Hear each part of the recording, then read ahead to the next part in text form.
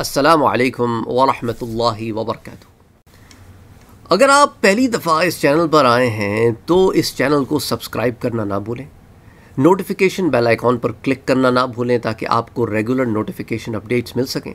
اس channel پر بہت ساری topics پر آپ کو ویڈیوز مل جائیں گی۔ پلے لسٹ چیک کرنا نہ بھولیں۔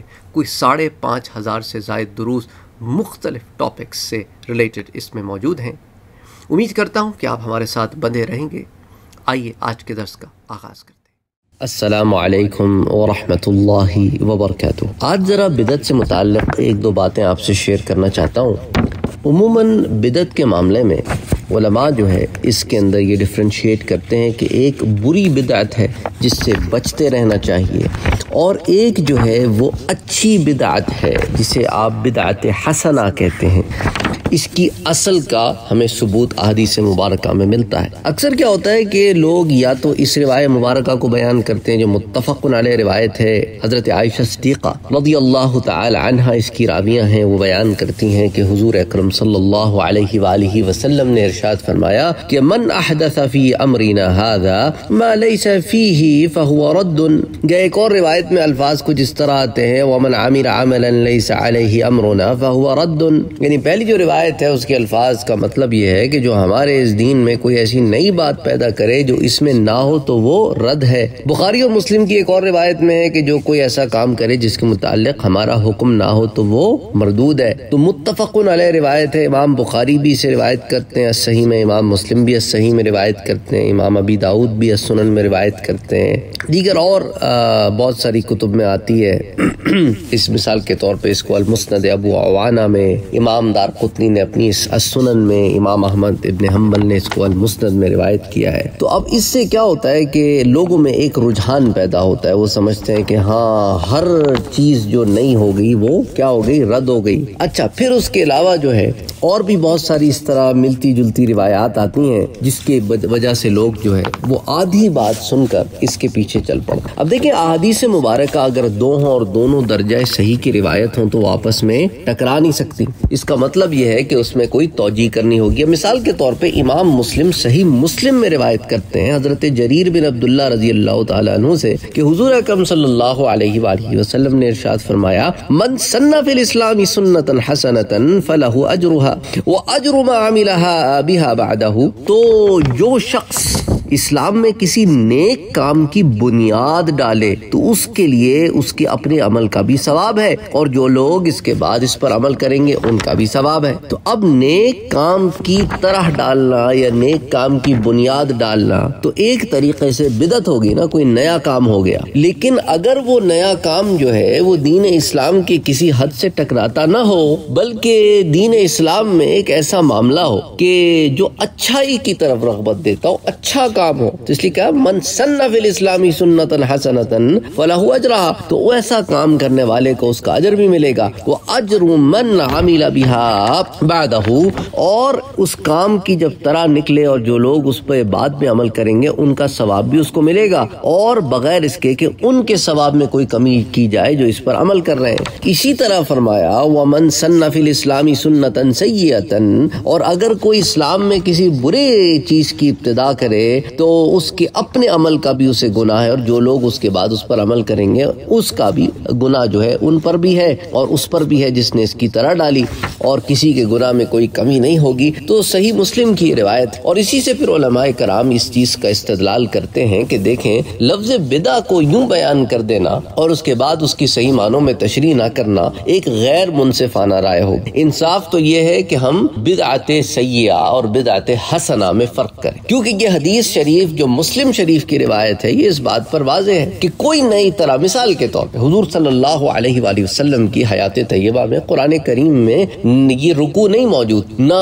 منزلیں موجود، نہ پارے تھے، نہ اعراب تھے، نہ یہ تجوید کے نشانات تھے۔ اب ان کو لگانے سے امت میں ایک نئے چیز کی طرح پڑی، لیکن آسانی ہو گئی، اچھی چیز ہو گئی، فائدہ ہو گیا۔ لوگوں کو ایک قرت پہ جمع کرنا، قرآن کریم کو کتابی شکل میں یوں لکھ کے اچھا اس کی پبلشنگ کرنا، قرآن کریم کے نسخوں کا ترجمہ، اسی طرح جو ہے وہ سب عقرات ہے قرآن کریم کی، ان میں پھر اہتمام کا ہونا، اسی طرح ہمارے ہاں مدارس میں ایک کروکولم کا ہونا اور اس کے تحت جو ہے نصاب کا ہونا، جس کے تحت پھر طلبہ کو تعلیم دی جائے۔ احادیث مبارکہ کو کتابوں کی صورت میں جمع کرنا اور ان پر پھر ترجمت الباب باندھنا اور پھر مختلف اور چیزیں، پھر ان کی شروحات، تفسیر، یہ تمام معاملات تو بات کے ہوئے نا۔ ان کو جس طرح جس طریقے پر رائج کیا گیا اور جس فارم میں ہم اور آپ اسے لیتے ہیں، تو اب یہ تمام معاملات کس میں آ گئے؟ من صنف الاسلامی سنتن من صنف الاسلامی سنتن حسنتن اس کے زمین میں آ گئے کہ اچھے کام کی طرح ڈالی۔ اچھا اب اچھے کام کی طرح کوئی ایسی چیز نہ ہو جو اصول دین سے ٹکراتی ہو تو پھر ٹھیک ہے۔ اچھا مثال کے طور پر۔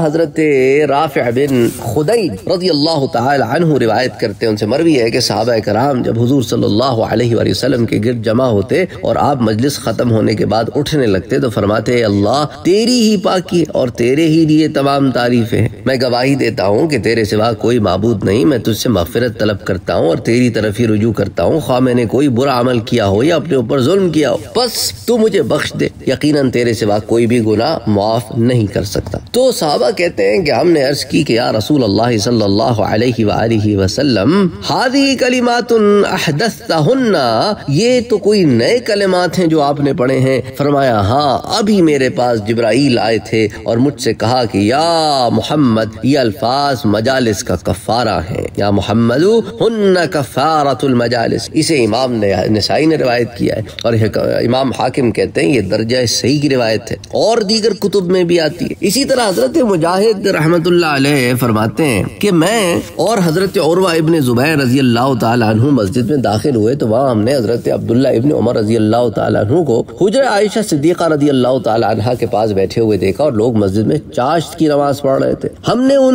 لوگوں کی نماز کے متعلق ان سے پوچھا تو انہوں نے فرمایا کہ یہ بدعت حسنہ ہے اور یہ متفق علیہ روایت ہے۔ بخاری اور مسلم شریف کی روایت ہے یہ۔ تو متفق علیہ روایت ہے۔ اور اور دیگر کتب حدیث میں بھی آتی ہے۔ صحیح ابن حبان میں بھی آتی ہے۔ المصنف ابن ابی شیبہ میں بھی آتی ہے۔ المسند ابن رحویہ میں بھی آتی آتی ہے تحفت الاحوزی میں بھی آتی ہے اور بہت ساری کتب حدیث میں آتی ہے۔ اچھا اسی طرح حضرت آرج رضی اللہ تعالی عنہ بیان کرتے ہیں کہ میں نے حضرت عبداللہ ابن عمر رضی اللہ تعالی عنہ سے نماز چاش کے متعلق سوال کیا۔ جب وہ حضور صلی اللہ علیہ وآلہ وسلم کے حجر مبارک کی پشت سے ٹیک لگائے بیٹھے تھے، تو انہوں نے فرمایا، بدعت ہے، بدعت ونعمت البدعہ، اور بہت ہی اچھی بدعت۔ تو اس سے بھی علماء کرام نے بدعت حسنہ کی دلیل پکڑی ہے اور اسے پھر مصنف ابن ابی شیبہ میں روایت کیا اور اس کی اسناد درجہ صحیح کی سند ہے اس کی۔ مصنف ابن ابی شیبہ میں حدیث 7775 پھر امام حجر اسقلانی نے اسے بخاری شریف کی شرح فتح الباری میں حدیث نمبر 1121 کے تحت بھی نقل کیا ہے۔ اسی طرح حضرت عبد الرحمن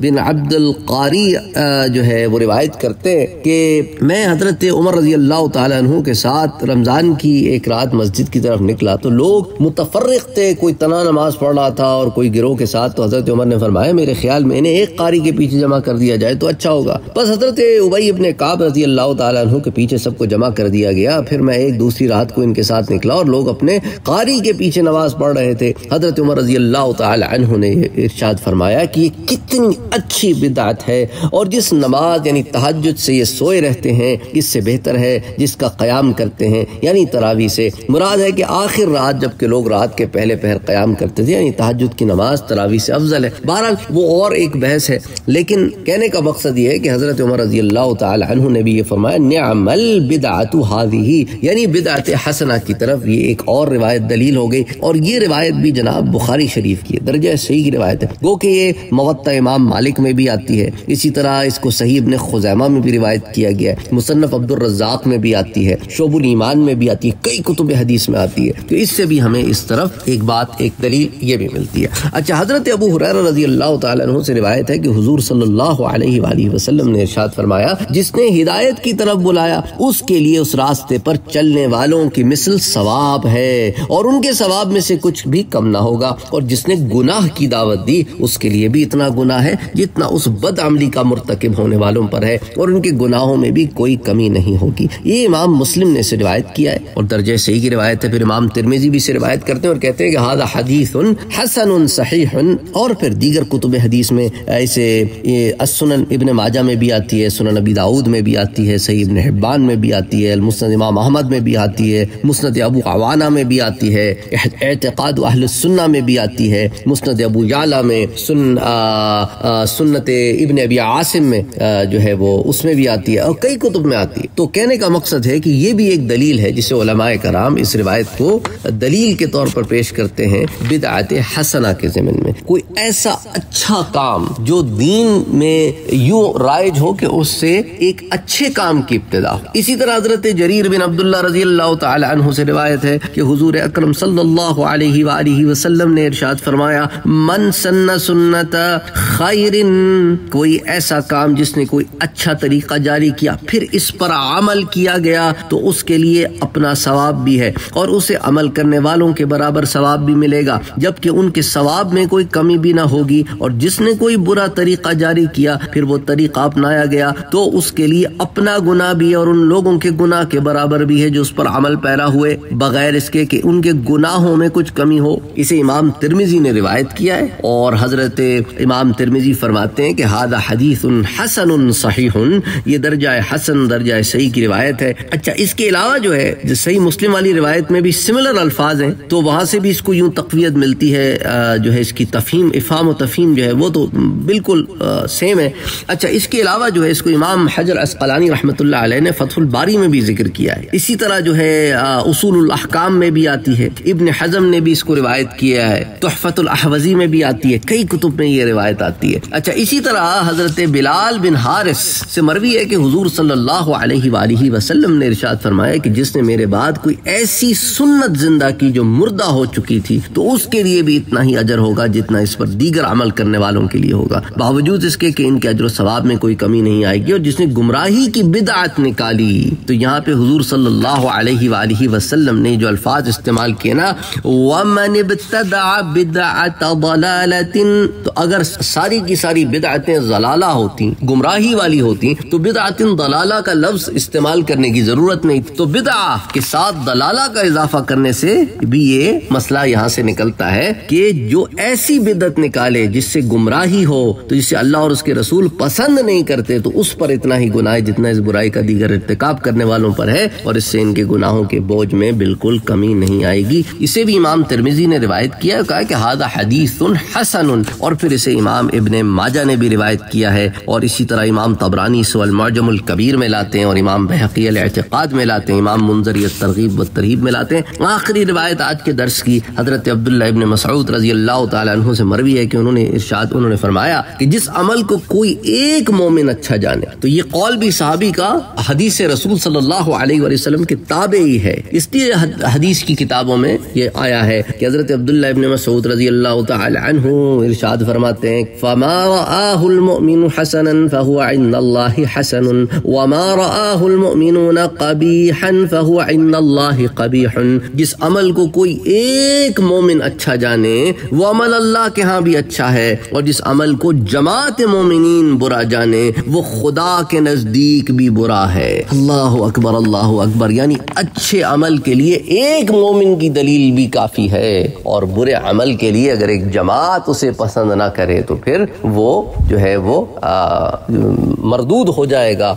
اسے اچھا نہیں سمجھا جائے گا۔ تو بہرحال یہ بہت سارے دلیلیں تھیں اس زمین میں۔ حضرت عبداللہ ابن مسعود رضی اللہ تعالی عنہ کے اس قول کو امام بزار نے اپنی المسند میں، اسی طرح امام طبرانی نے الموجم الکبیر میں، امام احمد ابن حنبل نے المسند میں، امام حاکم نے المستدرک میں۔ اسی طرح جو ہے امام ابو نعیم نے حلیت الاولیاء میں، امام بحقی نے اس کو المدخل الى سنن القبرہ میں۔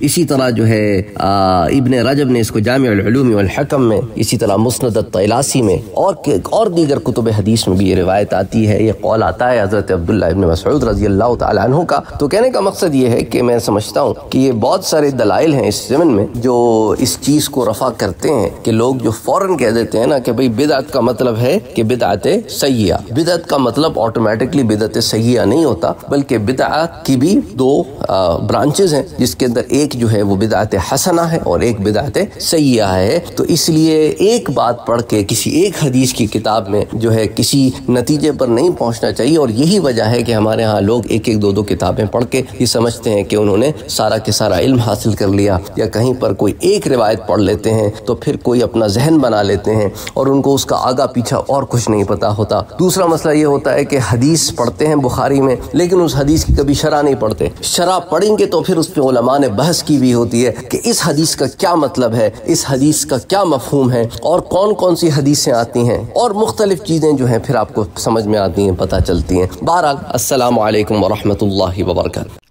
اور آپ کی سہولت کے لیے واٹس ایپ کا گروپ بھی بنا ہوا ہے اور ٹیلی گرام کا چینل بھی بنا ہوا ہے۔ دونوں کے لنکس ڈسکرپشن میں موجود ہیں۔ اگر آپ نے ابھی تک ہمارے چینل کو سبسکرائب نہیں کیا ہے، تو سبسکرائب کا بٹن دبائیں۔ بیل کے آئیکن کو پریس کریں تاکہ آپ کو ریگولر نوٹیفیکیشن اپڈیٹ مل سکے اور آپ ہمیں ہمارے لائیو سیشنز میں بھی جوائن کر سکیں۔ ویڈیو پسند آنے کی صورت میں لائک شیئر اور کمنٹ کرنا نہ بھولیں۔